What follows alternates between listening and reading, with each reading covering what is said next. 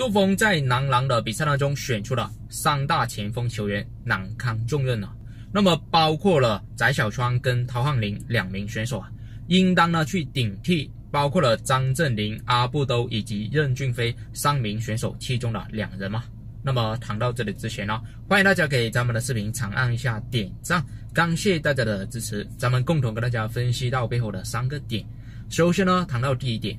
男篮队伍当中呢，那么前锋线这一个位置啊，一直以来都是一个硬伤。说白了，是男篮队伍很需要提升的一个位置来的。我们过去这几年的比赛呢，在前锋线呢是缺乏很大的一个突破能力跟很好的一个上篮得分能力的。那么现在呢，包括了麒麟，他又扭伤了脚，所以呢，他退出了接下来的比赛。我们男篮在前锋线呢又少了一名核心的主力，那么这也会打乱。杜峰以及呢姚明接下来男篮队伍当中的一个战术布局的，其中面对着日本队呢，我们在前锋线的这个层面呢，可以说有着一定难度要去击败对手了。那么接下来呢，杜峰他在前锋线的位置啊，是不是要应当做出调整了呢？而且现在选出来的这四名选手啊，应当呢要做出一定的更换了。不然呢，在面对着日本队的世界杯预选赛也好，又或者说下一年以及未来的我们男篮的比赛也好，那么前锋线的这个层面呢，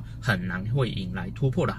咱们呢是可以共同来看一下，现在前锋线的四名球员呢，包括了周鹏以及呢张镇麟，外加上了阿布都还有任骏飞啊。那么其中这四名的主力，包括了周鹏，他是相对来说比较能够扛事的。而且呢，他能够扛下这个重任，毕竟呢，周鹏他在球场上的状态跟发挥的稳定性，相对来说是这四名的球员当中比较高的。而且呢，他对于战术的理解，尤其是杜峰给到他的安排，都是能够执行到位。所以说呢，周鹏这一个点没有很大的问题。然而，当我们再来看一下张镇麟，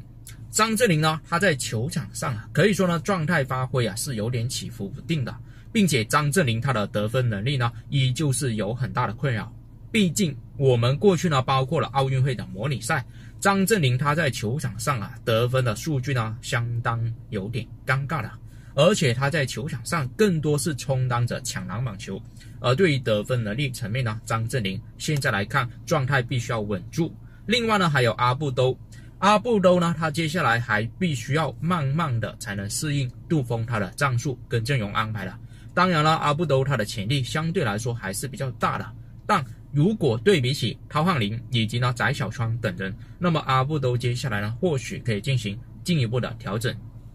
最后呢还包括了任骏飞，任骏飞这一个点呢是争议比较大的一名球员，包括了他本次的入选就被不少人议论为。任骏飞呢，早就应当被杜峰给换掉了。毕竟任骏飞他虽然说在球场上能够符合大前锋这个位置，但是他现在的进攻速度、突破的一个爆发力跟进攻上篮得分，现在的一个效率啊下滑了很多。张镇麟啊，他球场上速度跟不上的话，那么接下来还不如换上陶汉林，或者说换上打法比较强硬一些的翟小川啊。所以呢，接下来咱们还要对比起面对着日本队。虽然说世界杯的预选赛，八川磊、渡边雄太等核心的 NBA 日本队的球员没有上场，但是我们要考虑到在未来的比赛当中啊，也就是明年二月份继续开打的比赛，其中我们男篮如果说要更好的去对抗八川磊，还有马场雄大、渡边雄太等日本的这几名核心的前锋线球员啊。咱们呢就要选出非常得力，而且呢打法相对比较强悍的一些前锋线的主力的，包括了陶汉林以及呢翟小川，就在球场上的前锋线呢，相对来说啊是能够跟八川磊来进行对碰的，而且接下来这几名选手呢，相对来说也是比较强悍一些的。那么这样一对比的话，杜峰包括了现在的任骏飞以及张镇麟，还有接下来的阿布都啊，该不该把其中的阿布都还有任骏飞啊换成翟小川跟陶汉林呢？这样的话才能使得前锋线啊更加具备很强硬的一个进攻火力，以及呢很好的一个得分能力的。那么大家对于杜峰是不是要做出调整跟安排了？欢迎做出你的点评啊！也欢迎大家给咱们的视频长按一下点赞关注，感谢大家的认同，咱们下期。